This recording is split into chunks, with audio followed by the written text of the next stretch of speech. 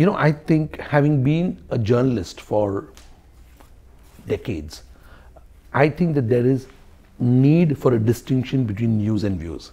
It is getting blurred because a lot of people think that commentary and chatter is substitute for content for, for actually what happened. Now, commentary and, and um, you know chatter may actually be content, but it's not news. So for me, there's a very clear line between news and views.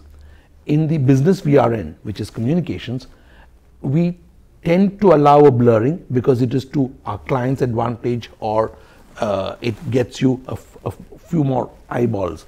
But I think that the audience which is discerning, which is powerful, and the audience which is likely to pass it on forward uh, tends to be able to see this distinction.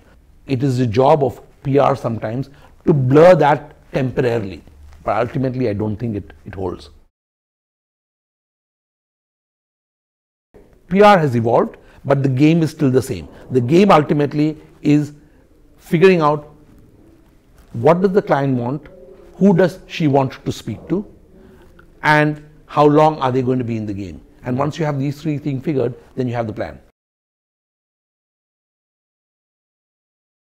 Creativity is best applied to short term, best applied to short term, but I think creativity in the long term is much harder to do. So, for example, you're doing, say, the fourth convention of lingerie makers of Coimbatore. Okay. Mm-hmm. Now, what can you do new in the fifth year? Okay.